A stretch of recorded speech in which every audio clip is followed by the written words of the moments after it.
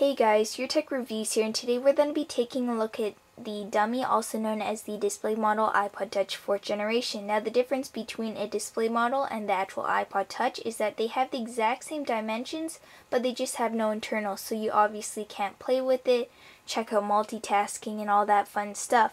Now I actually got this product free of charge for review purposes so I'd just like to thank the kind eBay seller that goes by the username amor underscore store so much for sending me out this product once again. If you're interested in checking out his store, which I would highly recommend, his link will be down below. So without any further ado, let's just go ahead and open this up. Now it did take a week or two to get to Canada from Hong Kong, which isn't too bad in my opinion. As you can see, comes in this nice box. As you can see, here's the iPod Touch itself, and of course you get the customer appreciation card, which most eBay sellers do supply. As you can see, you also get the iPod Touch in a Ziploc bag, which we're just going to go ahead and open up. And then you also have it nicely wrapped up in this plastic wrap. So as you can see, it is somewhat protected. Obviously, it could have been protected better, but this is a display model, so there's not too much that could be done if it were to get bumped here and there. Now taking a look at it from a glance, it does look like a real iPod Touch. Unfortunately, I don't own the real iPod Touch 4th generation, so I can't do a comparison. But I did take a look at this one in comparison to the Apple Store's iPod Touch, and it looked pretty much the exact same. Now if we go ahead and take a look at the ports right here, as you can see you have the 30-pin connector, your one grill, and your 3.5mm headphone jack, which are fully accessible. You pretty much can't even tell that it's fake from here.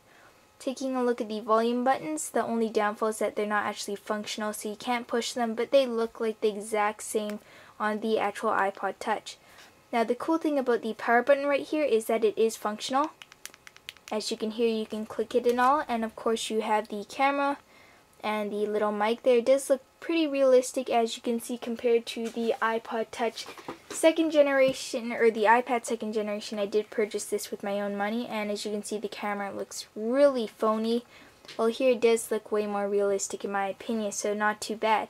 The only downfall is the back here. First of all when I got it, it had these kind of dots as you might be able to see. And taking a close look at the print, the Apple logo and the iPod logo right there it wasn't put on that nicely. It was put on pretty cheaply, so as you can see it is starting to chip off a little, and maybe after a year's use, it'll obviously pretty much probably all be gone. And of course you got the 32 gigabytes right there. Taking a look at the front, this is where you can tell it's a display model as to how it's cardboard, not an actual glass screen or LCD. You also have the home button which is fully functional and clickable and you have the front facing camera. Now I actually did test out the dimensions. I have a screen protector on it that comes from a company and as you can see it lines up really nicely. In fact you can't even tell that it's on there right now.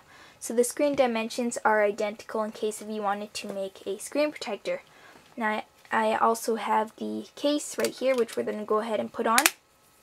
And as you can see it fits on perfectly fine. Everything lines up nicely. So as you can see, it is true the dimensions are correct and from a distance, especially if you don't turn the screen over, you can't even tell that it's fake or real. Now you're probably wondering why would I need a display model? Maybe you're starting up a new company, yet you don't want to purchase the actual iPod Touch, but you want to find out the dimensions and whatnot to make your case or screen protector. This would work out perfectly fine. Instead of paying $230, you simply just pay around 20 I believe. Another good thing is say you want to do product reviews if you're a product reviewer such as myself, but you can't afford an iPod Touch, but you still want to get videos up on the interwebs. Simply purchase a display model. Some people might not be satisfied if you do reviews with the display model. They might think you're cheap or something like that, but I'd say it's perfectly fine in my opinion. So those are just some of the scenarios. You obviously have to be creative.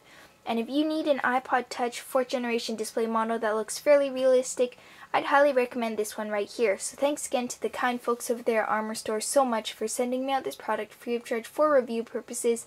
If you guys are looking for an iPod Touch 4th generation display model to prank your friends and whatnot, pretend you're breaking their iPod Touch and cool stuff like that, check out the link down there. Their store will be down there and they don't just sell fake iPod Touch products, they sell a whole bunch of other tech savvy products for all you geeks out there such as myself. So thanks for watching. Please do not forget to rate, favorite, comment, subscribe, give this video a thumbs up, and I really hope that you guys have an awesome day. See ya!